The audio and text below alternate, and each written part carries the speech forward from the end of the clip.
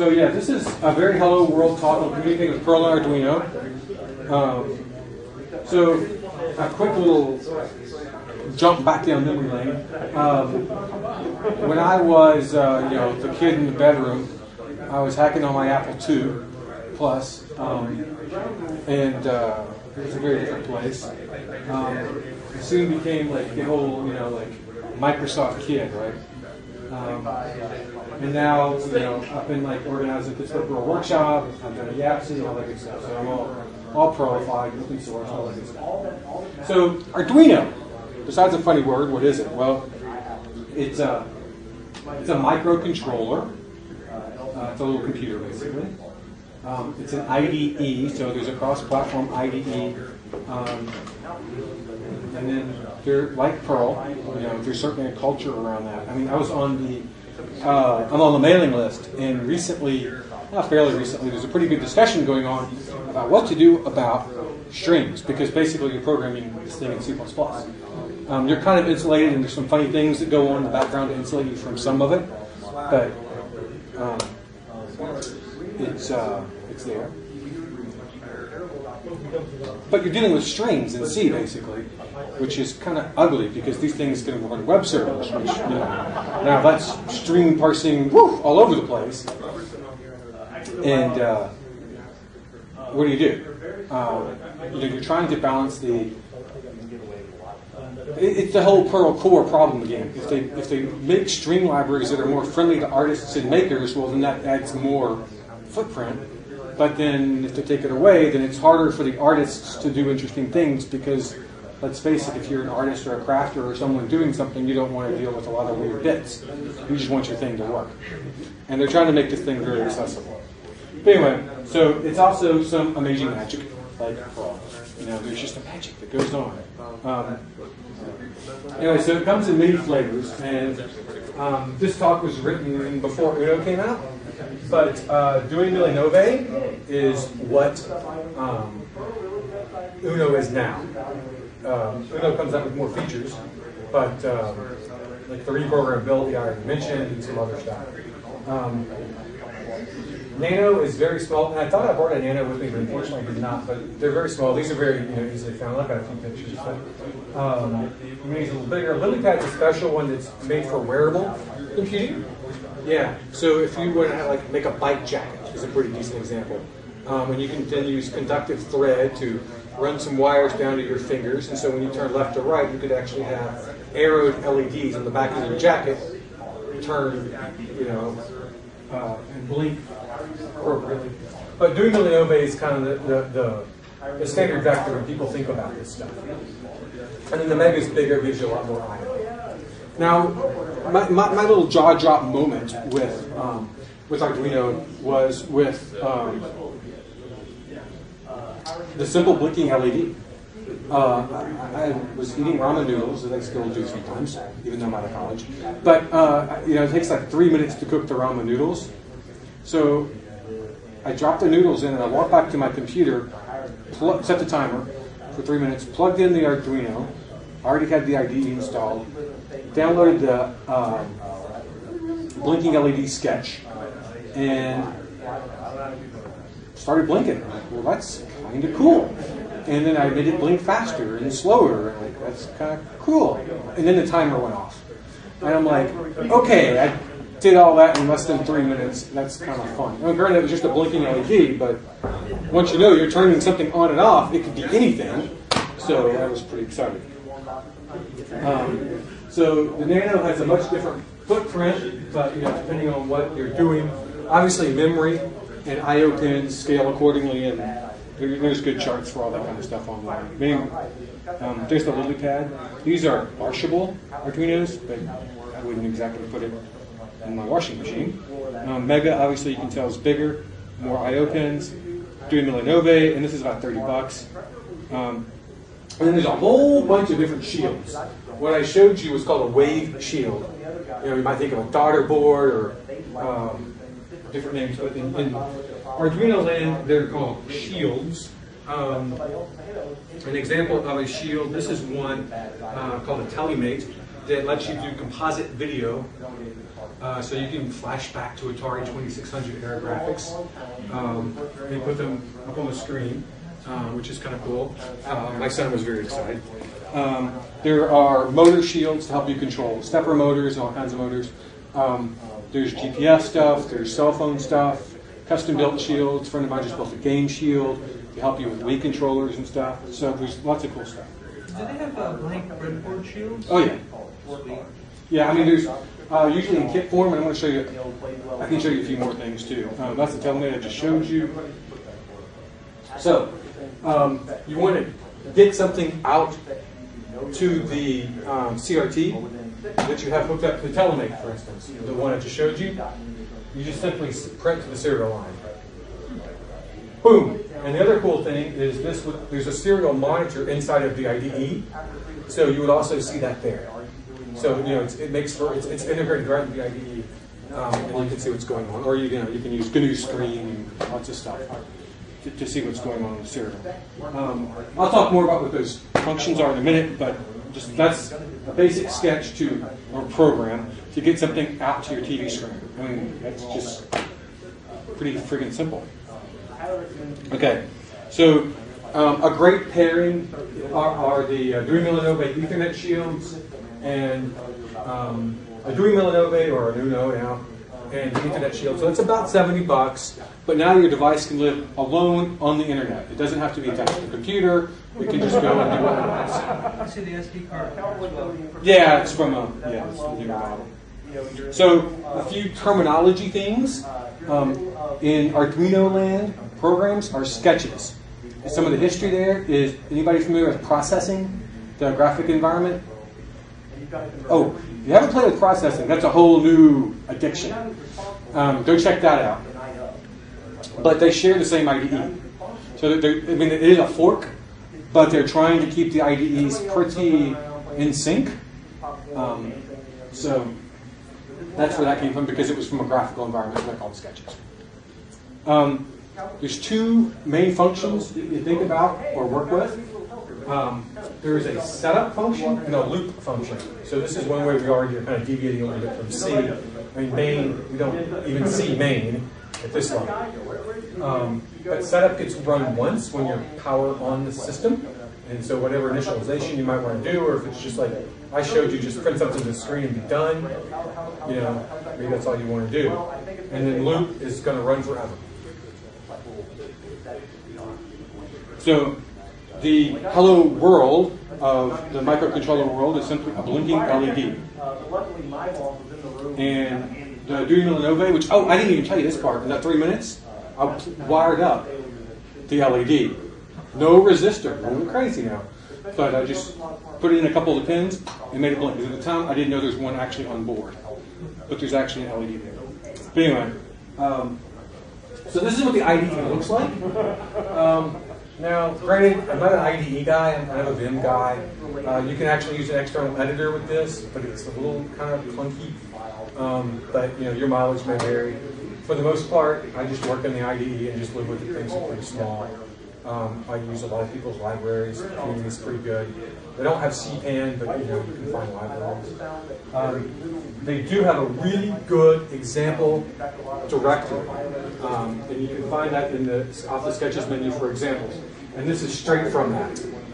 Um, so we're going to initialize um, pin 13 to be an output pin, which is contrasted with an input pin, so it could be I or O.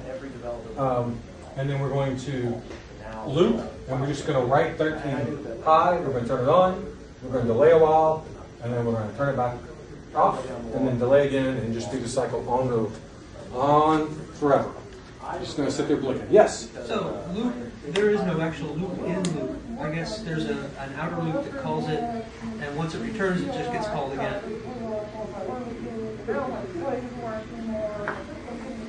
The, the loop function there, void loop. Yes. There is no loop in it that I can see. So, so there's an out, there's a loop outside of it that There- there- just there- calls it over and over. Yes, probably so. I, I honestly am not immersed in the, the gory details. So, I mean, I'm just going to bounce over this. Uh, setup makes a lot of sense what we're doing here. And then um, I forgot I had this blown up for you. So I'm going to show you a couple ways to connect. So I'm going to show you how to connect serially and through Ethernet. So serial is just USB. I mean, don't be scared. I mean, USB is still serial. Um, so um, just plug it right up and use our serial. Um, so pretty simple example of we're going to uh, use variable um, for 13, uh, pin 13. We're going to tell our baud rate is for our serial port. Um, and I mean, already you can kind of see why this would be kind of attractive to be able to like talk as a keyboard or something like that that you already exist. I mean, it's, it's standard in, you know, to deal with. I mean, fun stuff. Who wants to deal with this on the other side with Perl when you don't have to? But anyway, um, we're going to say it's again, it- it's uh, pin mode output, and then we're just going to start a while loop, wait for um, something to happen on serial. Uh, if it's a one, we'll come high, and if not, we'll just go low. And then you'll just do that and delay. And go on and do that forever. Do you want to catch anything? Pretty simple, okay. And that's stolen pretty much from an example right off their site too. Now this is an example screenshot of the um, serial monitor that exists inside the IDE. And so I want to make sure that you point out that this is that 9600 baud and your initialization code match, or obviously you're going to think something's really weird and wonky. Uh, and it's, it's, it is, because you didn't configure things right. Um, and so then you get this little text box where you can enter in one or zero, and you can see the output scrolling past ons and offs. So it's a really nice debugging tool. Um, and then here's some really exciting Perl code. All of this, cargo cult.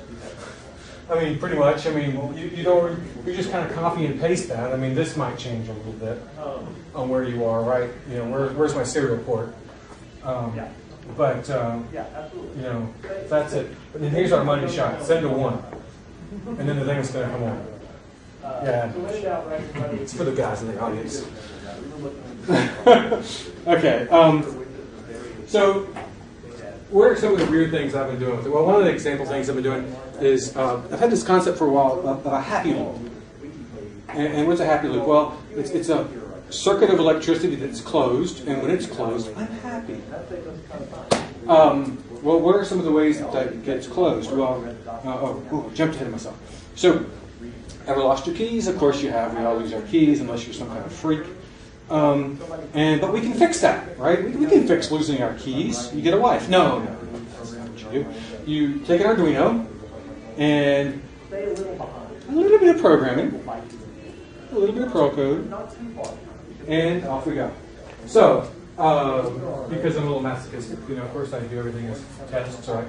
Um, so this is, I I was writing this for a non-pro audience, but it turns out some of the, the uh, uh, well, I'll, I'll show this. No, I'll show this. Um, prove has the cool thing where if you colon colon after its arg- uh, the pro- arguments to prove, it eats the rest of the arguments as you know args, which is kind of cool. And so then you can just feed those into get out to get args or get options, whatever. And um, uh, so you can make parameterized tests, which is kind of handy. Um, so I, um, anyway, I can basically run this, and I'm going to use a web server to check and see um, if my keys are there or not.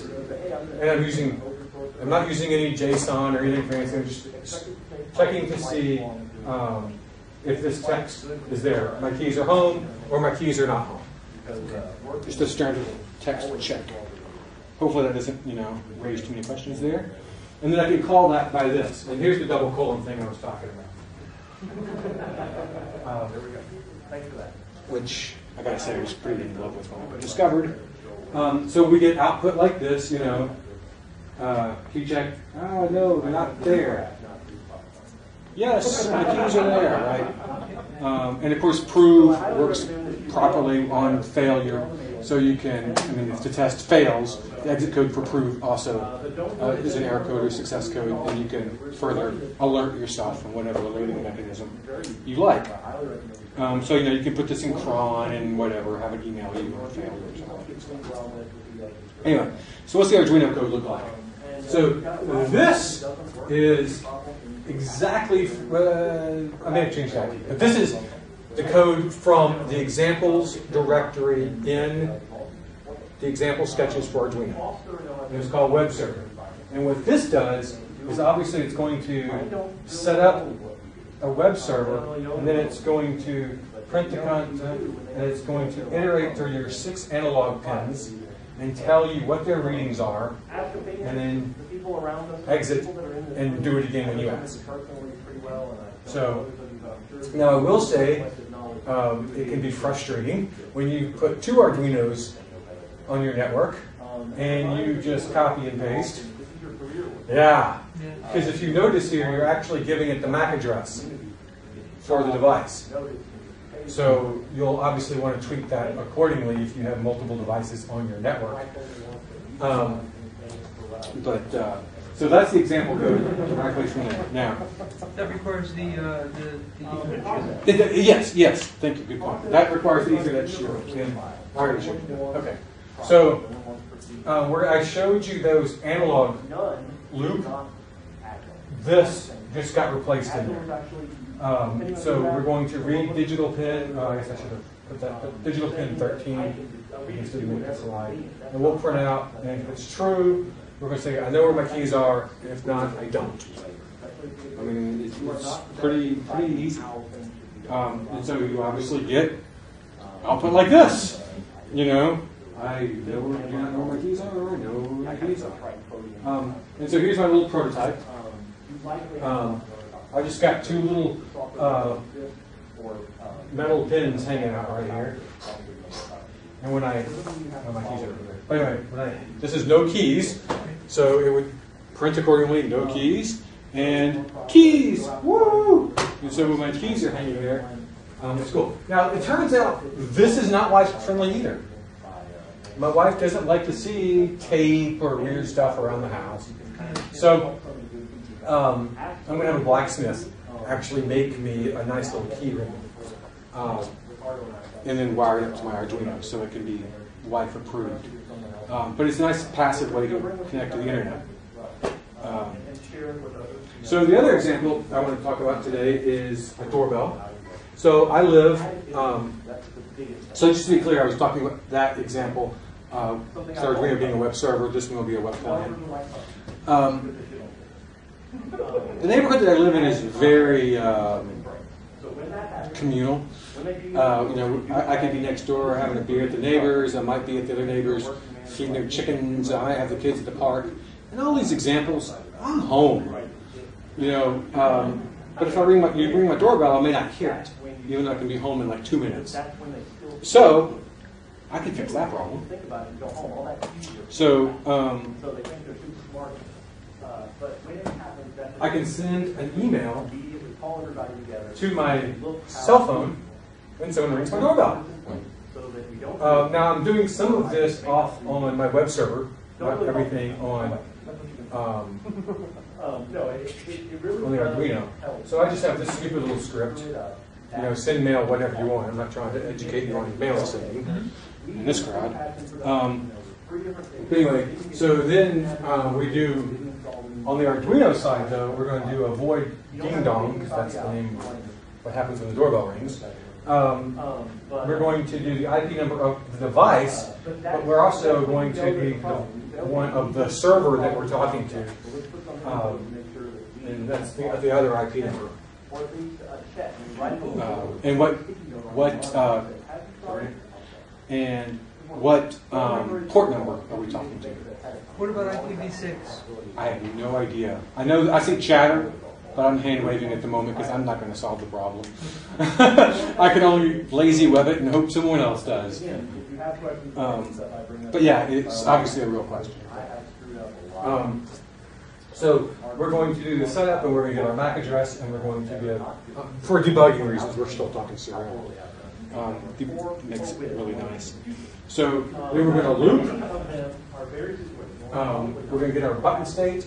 Again, if it's true, very similar to what we saw before with the keys. But this time, you know, someone's at the door, and this is just debugging. Is all that is. Um, we're going to run ding dong, and just, you know, someone's going to lay on the doorbell. We're just going to delay and check again if they want to be persistent. You know, your mileage may vary, obviously, how you want to do that. So is two thousand in total if they press the button. Beg your pardon? They press the button, there's a delay of a thousand, and then at the end, there's another delay of a thousand. That way they can't hammer the. Yeah. Yeah, yeah, yeah. Um, And then, so what does ding dong look like? Well, um, this is us with a little bit of debugging code calling our little Perl script that I showed you before. It's actually going to send us the text message. So um, we've already told it what the IP number is, right? That was in the setup.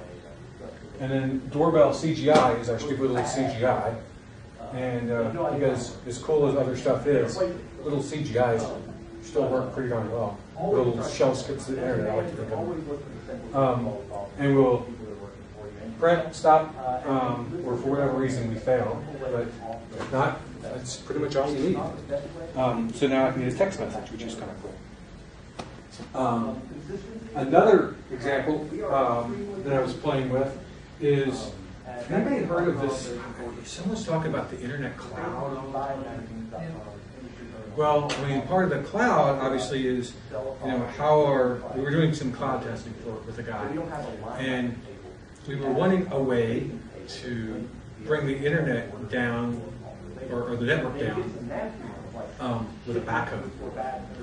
So we didn't want to necessarily cleanly bring the interface down with a script. We wanted to cut the line and then bring it back. It's a little different behavior. You never know. It might be different than bringing the interface up and down cleanly, right? And that's what we did here. So um, down here is in the box is our relay. And up here is two our two RJ45 jacks wired for Ethernet. And I forget my wire. I can pull it. Transmit. Um, When in the text te- in the test script, we check to see can we get over this wire, and then we pull it down. We test to see if we can still get over it. You know, if we can or can't, and you know, there's magic to see if you're seeing what you should, and it's, the network should uh, respond accordingly. Um, and then we can bring it back up and still see. and still- So you can see if you can really get across it, if it's really down, um, but we can physically, rather than having Bob down there in the data center go, unplug 21! You know, this is Bob. Um, so that's kind of cool. Um, So how do you remotely control that? Um, just as we were showing you how to do digital pin um, uh, output one, you can actually do the same thing for your relay. You just yeah, whatever digital thing you want. Now those relays obviously are five volt relays, which are compatible to. That's just another picture of it. And so, anybody familiar with this graph from XKCD? Are you familiar with the Ballmer curve? No? We are going to. Oh, Oh, oh, oh, oh, okay. I. Thousand products. What's gonna work? so I've never seen it though. I don't really ah, know. yeah. They don't know, Now, but I, I, I'm, not a I'm not a true researcher, so I, I'm really kind of wondering. I mean, this is his curve. I'm wondering if it's really probably individualized for each person. Triple the number of But this is maybe a pretty good average. what's going to happen. None that stuff really. So- Like it to be, but at least you know better than. There's a Uh, yeah. um, Arduino drink shield, which is a breathalyzer that you can hook up. So, I mean, I certainly think, and this is what it looks like. You blow into this. Every single thing you make. where you Now, Uh, it comes as a game too, as a drinking game, as every technology should. But that's what this LED thing is over here, which is pretty cool. I met him at Ohio Linux Fest. Nice guy. But anyway, um, they sell these at the Maker Shed and around. Um, so, as a challenge, you know, I certainly think that, you know, Not in every